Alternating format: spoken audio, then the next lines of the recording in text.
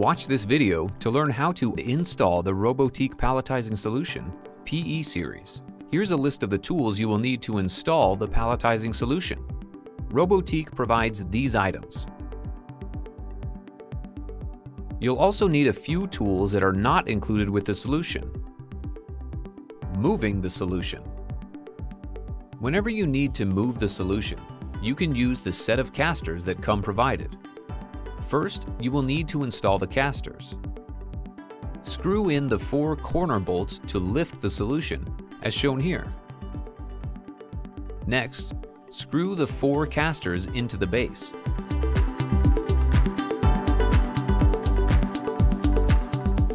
Unscrew the corner bolts to set the solution down on its casters. Caution! Do not use the solution while it is on casters. To make the solution stand upright, simply screw in the four corner bolts again, remove the casters, and unscrew the corner bolts. Installing the robot. The following steps require at least two people. Note that a UR10 is required for installation, which is not included with the solution. Start by running the cable through the inner pedestal section and pull the cable out at the bottom of the pedestal.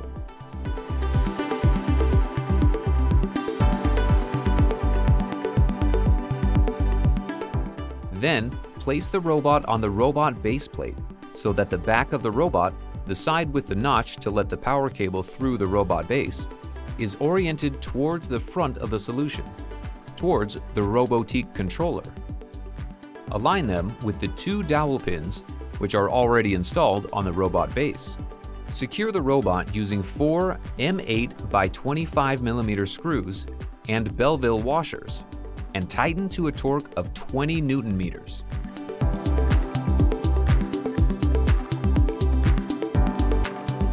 Adjusting the pedestal height. With the PE series, you can adjust the pedestal manually you want to position the pedestal at the right height for your pallet configuration. If you will be using several different configurations, the best practice is to find a height that will correspond to all of them. This will keep you from having to manually change the pedestal height during production. Caution! You will need at least two people to perform these installation steps, since the weight is approximately 50 kilograms or 110 pounds. Before starting the installation, Determine the height required based on your pallet and package configuration. If you don't know the optimal position for your configuration, you can use the Robotiq configurator to simulate your palletizing cell and figure out the exact height required. When you're ready to adjust the pedestal, make sure the robot arm is folded in as much as possible. Unscrew the six screws that hold the pedestal in place, starting with the two screws on the right side.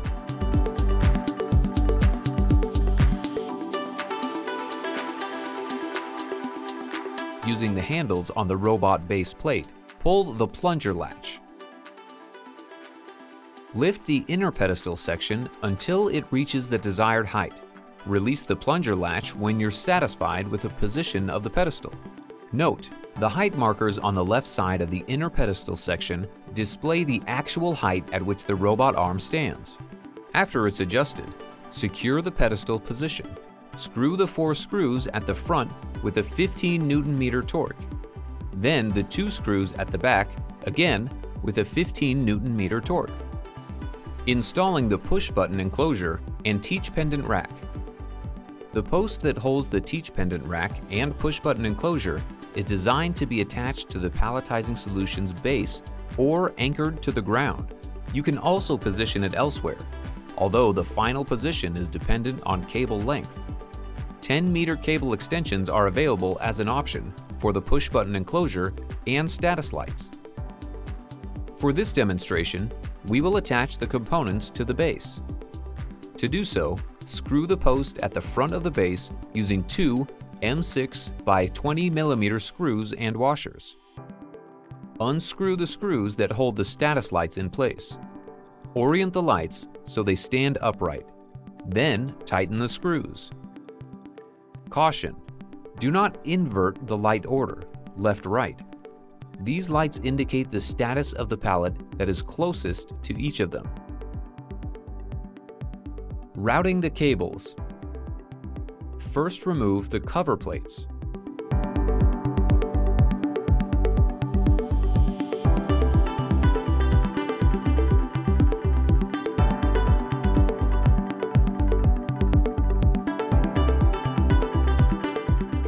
Installing and connecting the controller.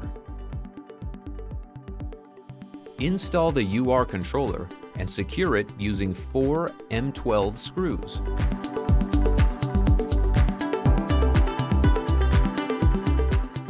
Connect the power output cable of the Robotiq controller to the UR controller. Connect the robot arm's power output cable to the socket on the UR controller. If required, connect the teach pendants cable to the corresponding socket on the UR controller.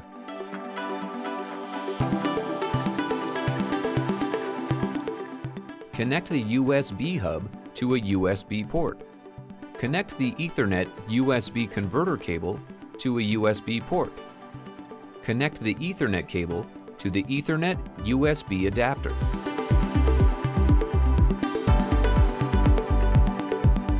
Centering the solution. A key step in the installation process is making sure the solution is properly centered. Centering must be done before installing the AirPick vacuum gripper. The goal is to align the column with the base by placing the robot wrist at a specific position at the same time as it touches the side of the base. Unscrew each of the four screws that secure the column into the base by half a turn Warning, do not unscrew the screws completely. Unscrew them only by a half turn so that you can change the column orientation. Rotate the column counterclockwise as much as possible. Position the robot so that the wrist is on the outer left side of the base, as shown here. Move the robot so the robot tool flange is parallel to the ground.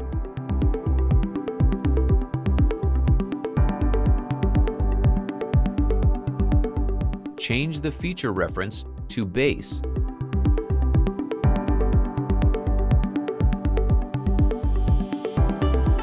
And modify the tool position as follows. Rx equals 0 degrees, Ry equals 180 degrees, Rz equals 0 degrees.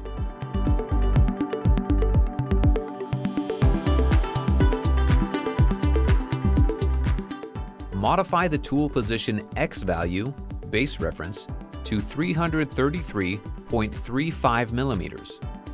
Also, make sure the TCP is set to zero. Rotate the column clockwise so that the side of the robot wrist touches the side of the base. Tighten the four screws to secure the column into the base. Tighten to a torque of 50 newton meters. On the teach pendant, validate that the X value is still 333.35 millimeters. Put the robot back in its position of use. Installing the AirPick vacuum gripper. Now we can install the AirPick vacuum gripper, its accessories, and the cable routing system. First, power on the robot and rotate the joints as described in the table below. Once that is done, shut down the robot. If more reach is needed, install the extra reach gripper bracket on the robot tool flange using four M6 screws and tooth lock washers and align it with the dowel pin. Important, only install the bracket if necessary. Consult the configurator to find out if it is needed in your case.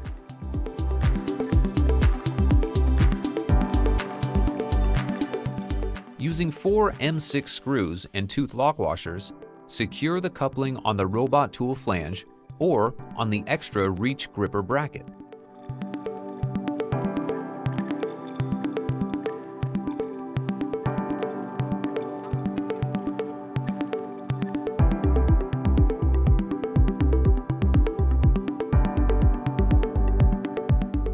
Mount the vacuum gripper on the gripper coupling align with the dowel pin.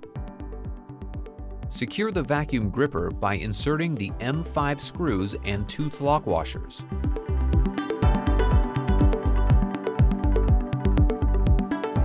If the two or four suction cups bracket is needed, align the flat surface on the manifold with the shoulder of the vacuum generator. Secure the manifold by inserting screws and tooth lock washers in a cross pattern to properly compress the O-ring of the generator.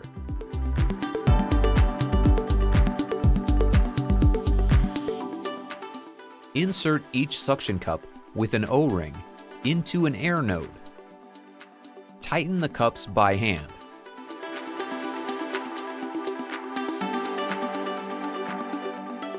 To finish the installation, change the robot position. Refer to the table below for the exact position of every joint. Once the robot is set in the desired position, attach the IGUS Triflex R-Series cable routing system to the robot, as demonstrated here. Using a 5mm hex key, secure the elbow collar assembly, the larger collar, to the arm. Account for the orientation and distance from the elbow, D2. Clip the mounting bracket of the elbow collar assembly on the cable carrier. Using a 5mm hex key, secure the wrist collar assembly, the smaller collar, to the arm. Account for the orientation and distance from the wrist, D1. If you use the extra reach bracket, make sure to first run the coupling cable through the second hole of the bracket. Connect the coupling cable to the connector visible at the end of the cable carrier. Install IGUS R-Lock clips at both ends of the cable carrier Clip the mounting bracket of the wrist collar assembly on the cable carrier. Align the bracket with the sticker shown in the previous chart. Use cable ties to attach the tubing and cable to the strain relief part of the mounting bracket. Be sure not to crush the tubing or cable with the cable ties. Cut the air tube to the right length past the plastic strain relief, 815 millimeters or 32 inches. Insert the air tube in the AirPick port. Insert the safety clip. Use dry and filtered air only. We recommend using a local pressure regulator with a filter and air dryer. For more information, refer to the Robotiq e-learning course on air supply management. Use the spiral cable sleeve to keep the air tube and coupling cable together. Connect the other end of the air tube to your local air supply device. Caution! The maximum pressure allowed is 7 bar. The optimal pressure is 7 bar. Shut down the robot and power off the Robotiq controller. Connecting the AirPick gripper and Copilot. Now that the AirPick gripper is installed, let's connect the components. First, connect the Copilot license dongle to the USB hub in the UR controller. It must be connected at all times run the gripper's coupling cable to the UR controller.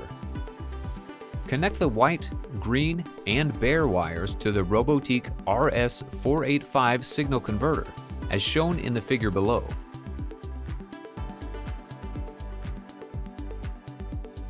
Also connect the red 24 volt and black 0 volt wires to the terminal blocks of the robot controller.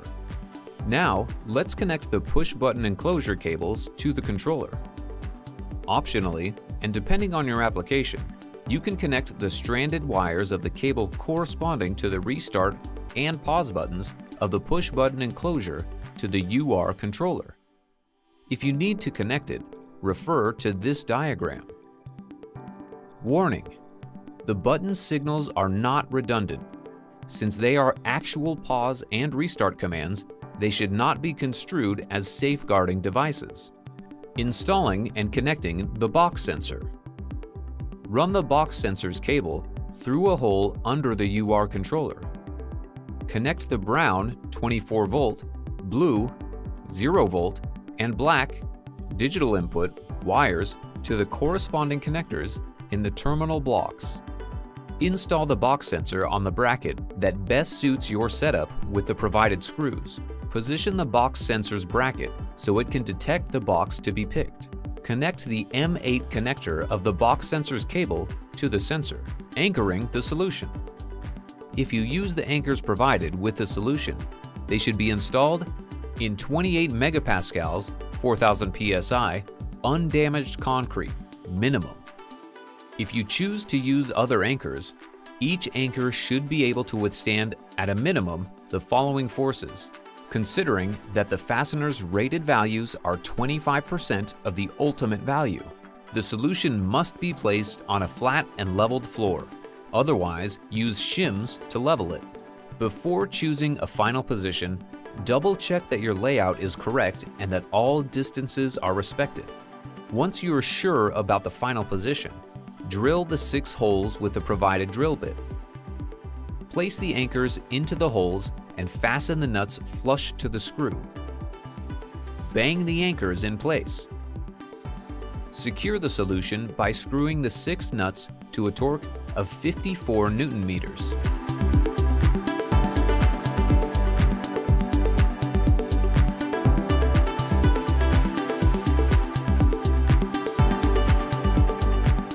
Powering on the solution.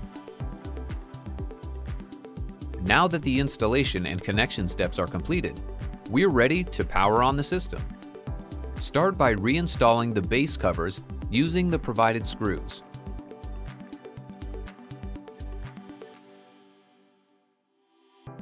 Then, install the pedestal cover using the provided screws. Connect the power cable to the power outlet. Power on the Robotiq controller and the robot.